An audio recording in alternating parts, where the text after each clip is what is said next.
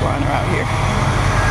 Nice orange details, stripes, and I also like that little rise in that area up there.